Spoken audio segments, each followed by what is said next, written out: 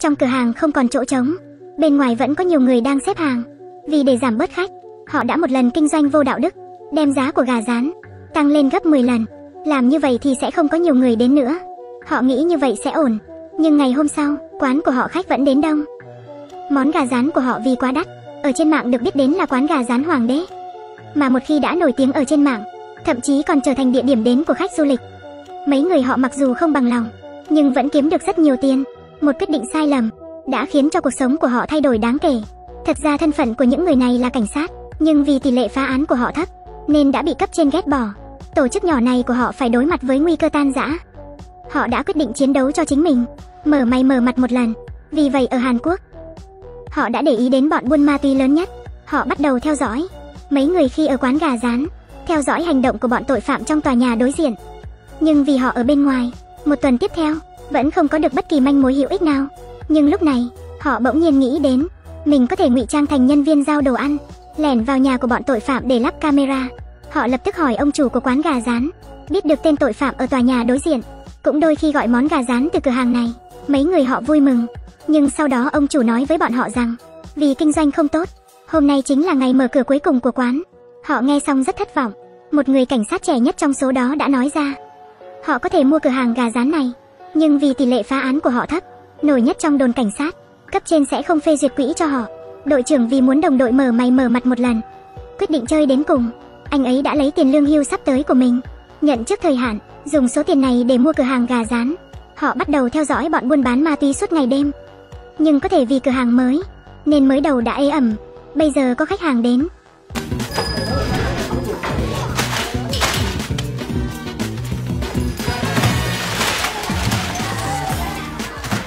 thì việc theo dõi của họ đã bị gián đoạn. Mỗi lần có khách đến, họ đều lấy lý do là hôm nay không có gà, để khách rời đi, nhưng giờ họ đã đổi ý. Thời gian dài như vậy, có cửa hàng gà rán nào mà ngày nào cũng hết gà không chứ? Vì vậy họ đã quyết định làm gà rán, nhưng lại không biết làm. Dưới sự sắp xếp của đội trưởng, họ quyết định mỗi người sẽ làm một lần. Ai làm ngon nhất thì sẽ là bếp trưởng. Họ đặt món gà rán của mình làm lên bàn ăn và bắt đầu ăn thử để đánh giá. Hai phần đầu tiên có vẻ như khó nuốt, nhưng khi họ ăn đến phần thứ ba, thì đã bị thu hút bởi hương vị tuyệt vời này. Vỏ giòn tan, bao bọc thịt mềm bên trong. Đây là món gà rán ngon nhất mà họ từng ăn. Họ ngay lập tức quyết định để Gong Yu làm bếp chính. Không lâu sau có một vị khách đầu tiên đến, nhưng điều khiến họ không ngờ là khách lại gọi một phần gà rán sốt, mà Gong Yu chỉ biết làm gà rán. Đội trưởng bảo anh ấy nghĩ cách, vì vậy Gong Yu đã chấp nhận đổi mới, đã dựa theo trí nhớ của mình làm nước sốt sườn heo. Món gà rán sốt được đặt lên bàn ăn, Người khách hỏi đây là nước sốt kiểu gì vậy? Thật kỳ lạ, đội trưởng nói đây là món mới của cửa hàng. Gà sốt nước sườn, khách đã thử một miếng, không ngờ rằng nó rất ngon. Mấy người họ nghe thấy sự khen ngợi của khách, đã rất vui mừng, bọn họ thành công rồi. Rất nhanh món gà sốt sườn heo đã được lan truyền, làm cho cửa hàng gà rán nổi tiếng khắp nơi.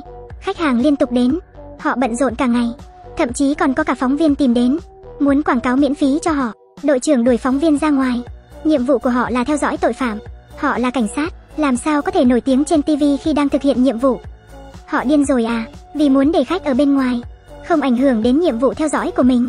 Họ đã tăng giá của gà rán, nhưng khách vẫn liên tục đến. Ngay cả khi họ phục vụ rất nhiều khách, họ vẫn không quên nhiệm vụ ban đầu. Họ luôn chú ý đến bọn tội phạm ở tòa nhà đối diện. Đợi khi chúng gọi gà rán, nhưng khiến họ thất vọng là thời gian dài như vậy trôi qua, chúng vẫn không có động tĩnh gì. Cảnh sát trưởng thấy báo cáo của họ viết là đang mai phục. Nhưng đã lâu như vậy rồi, vẫn không thấy gì, vì vậy đã gọi họ về đồn cảnh sát, muốn họ nghĩ đến vấn đề một cách kỹ càng. Nhưng khi họ nghe cảnh sát trưởng nói, đội trưởng bỗng nghe điện thoại, người gọi đến chính là tên tội phạm ở tòa nhà đối diện. Đội trưởng nháy mắt với họ, bọn họ liền chạy đi, hoàn toàn không để ý đến cảm nhận của cảnh sát trưởng. Mấy người đang làm cái quái gì vậy? Gong Yu rất nhanh đã làm món gà rán, dưới sự sắp xếp của đội trưởng, họ phân công rõ ràng, người thì cài thiết bị gây nhiễu tín hiệu, người thì cài một máy nghe lén ở hành lang, người thì đi ngắt điện, Họ chuẩn bị đã xong, thành bại là ở lần này. Tuy nhiên khi đội trưởng gõ của nhà tên tội phạm, mở cửa là một người phụ nữ trung niên. Trong nhà không có bóng dáng tên tội phạm nào cả, thay vào đó là mấy người lao công đang dọn vệ sinh. Đội trưởng hỏi người trước ở đây đã đi đâu rồi. Người phụ nữ nói họ đã chuyển đi rồi. Người phụ nữ nói họ đã chuyển đi rồi. Họ quay lại quán gà rán trong sự hổ thẹn, theo dõi thời gian dài như vậy. Đến cuối cùng, nhận được một kết quả trống không. Mất dấu vết của bọn tội phạm, Họ đang không biết bước tiếp theo nên làm thế nào. Nhưng ngày hôm sau, Có một người đàn ông mặc vest tìm đến bọn họ. Anh ta nói muốn mua bảng hiệu và công thức của họ. Công ty của anh ta sẽ giúp họ mở nhiều chi nhánh trên toàn quốc. Hợp tác hai bên cùng có lợi. Mấy người họ vốn định từ chối, vì mở cửa hàng gà rán không phải nhiệm vụ của họ. Nhưng nhìn anh ta có một vali tiền giấy, để trước mặt họ nên họ đã quyết định, làm nghề gì mà chả là làm. Bán gà rán cũng là để phục vụ nhân dân, nên họ đã đồng ý. Do họ điều hành cửa hàng chính này, mà các cửa hàng nhỏ khác đều giao cho công ty quản lý. Họ dùng tất cả nhiệt huyết của mình, đầu tư vào kinh doanh gà rán. Nhưng không lâu sau, họ phát hiện ra một chỗ không đúng. Trên mạng đăng tải một video về chi nhánh của cửa hàng họ có thái độ phục vụ không tốt. Thường xuyên xảy ra xung đột, những đồ ăn làm ra thật khó nuốt. Vì để làm rõ mọi chuyện, họ bắt đầu điều tra chi nhánh và phát hiện ra rất nhiều vấn đề. Cửa hàng chi nhánh số lượng giao hàng rất nhiều, nhưng đều vứt đi. Dựa vào trực giác nhiều năm làm cảnh sát của họ, họ biết có chuyện không ổn. Vì vậy họ đã điều tra bằng nhiều thân phận khác nhau. Những người đưa gà rán đó, phát hiện họ đều là những người nghiện ngập. Hóa ra công ty hợp tác với họ là giả. Bí mật vận chuyển ma túy là thật. Đội trưởng rất tức giận. Đường Đường là một đội trưởng đội phòng chống ma túy, mà giờ lại để bọn tội phạm vận chuyển ma túy dưới mắt mình.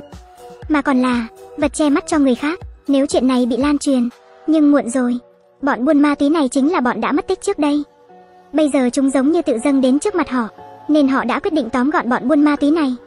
Nhưng lúc này, họ phát hiện không thấy Gong Yu đâu nữa. Họ suy đoán có thể Gong Yu đã bị bọn chúng phát hiện ra thân phận. May mà trên điện thoại có định vị được anh ấy.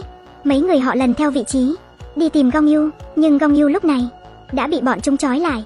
Nhưng anh ấy đã thành công khống chế được bọn tội phạm và leo lên xe của chúng, đến được địa điểm giao dịch của hai bang nhóm buôn ma túy. Nhìn thấy chúng giao dịch, Gong Yu ngăn chúng lại, nên đã mở điện thoại bật còi của cảnh sát lên. Bọn buôn ma túy tưởng bên kia là đặc vụ ngầm của cảnh sát. Hai bên bắt đầu đánh nhau. Lúc chúng đánh nhau, có một chiếc xe đi đến, mấy người họ xuống xe, nhóm ngũ hổ chống ma túy đến đây. Cuối cùng đã mở ra một trận chiến lớn, mặc dù đối phương đông người, nhưng năm người họ không hề sợ. Họ liền xông tới, cùng nhau đánh một trận. Hóa ra họ đều là những cao thủ.